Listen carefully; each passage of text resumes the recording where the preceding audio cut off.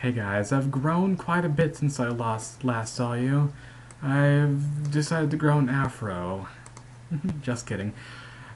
Yeah, so basically, I'm just testing out my new filters for my new webcam to see what the cool features are. So, you know, that was the thing. What, what would I look like with an afro? And so that's what I decided to pick. But anyways, anyways, um, I hope you guys had a good holiday because I know I did. I, I had probably one of the best Thanksgiving Thanksgivings I've ever I'll ever remember. Because what I did for Thanksgiving was probably the most uplifting thing I've ever done.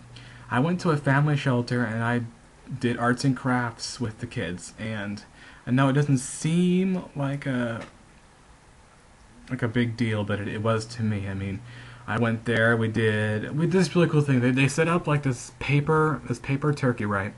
And we got and each of the kids got a tail feather, and they wrote down what they were thankful for on each of the tail feathers, and we would put it on the turkey. And I thought that was very creative, very very nice. Um, also, we did something. We did had coloring, and they did glitter na- names of the glitter. You know, where you like you write your name out in glue, and you put glitter on it, and you shake it off, and your name would appear in glitter and everything like that. It's it's sort of like you know it's like sort of like this. I mean, we we would write our names in glitter, and it was, it was really, really, really, really, really cool. But we then we did window clings, which I really enjoy, and apparently I can draw a really good rose. Because a lot of people were like, "Draw me a rose, Mike. Draw me a rose, Mike. Draw it, draw it." And I was like, "Okay, fine. I'll draw you a rose." After drawing about three or four roses, they started to look like onions so I had to stop drawing roses. But yeah, for Thanksgiving, that's what I did, and then of course I went home and I had dinner with my family, and that was really nice too. I had a really good time having dinner with my family because it's on a very because in my house it's a very rare occasion that we ever have dinner because most of us are at work during the same time. But you know, once we do have dinner together, I, I really enjoy it. I think it's a really nice time when you can all spend together and enjoy dinner, have a nice, quiet, peaceful dinner together at home, not at a restaurant, but at home, when you're just you know there with them. It's nice. For Christmas, which happened yesterday as I'm doing this vlog, it happened yesterday.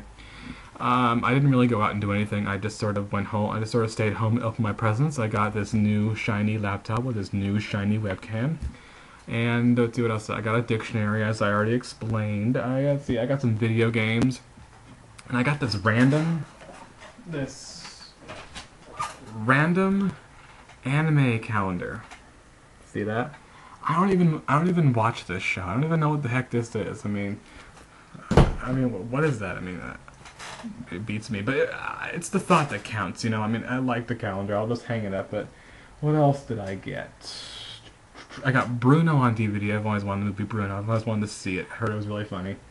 And um, oh, and I got buttloads of Barnes and Noble gift cards and about $225 worth of that, and Spencer's gift cards. I love Spencer's because you can get the rainbow stuff there. It's really, really nice. So that was my holiday, and uh, yeah, it's a really great time.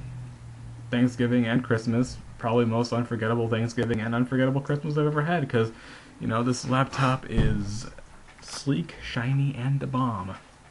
But I'm not going to brag about that. But anyways, for today's word of the blog is going to be stoic. Now, as I mentioned before, I'm not going to really mention the word of the blog that much, but I figure you know I'm going to in this one.